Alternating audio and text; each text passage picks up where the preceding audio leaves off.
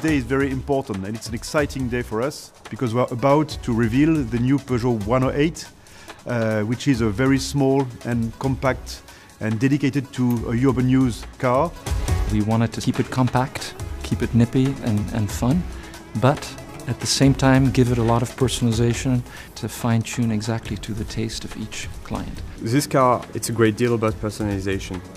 Uh, people can uh, choose the different uh, cover for the mirrors, uh, different materials into the car.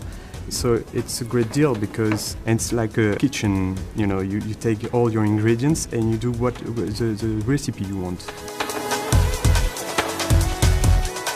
The pied de poule is a very famous pattern in fashion and uh, in textile design, fabric design.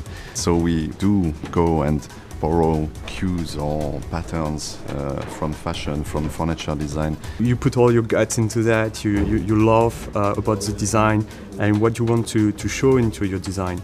And that's, that's what I love about design, is, is to do a product that people are going to, to love and, and they're going to buy it because it's the right product for them. What's interesting and important about this car for the Peugeot brand is that we are present in this very small segment for little hatchback cars, uh, but with a car that rises in terms of quality standards and it gives a level of perceived technology that's quite amazing for this segment. So for us, it raises the brand upwards.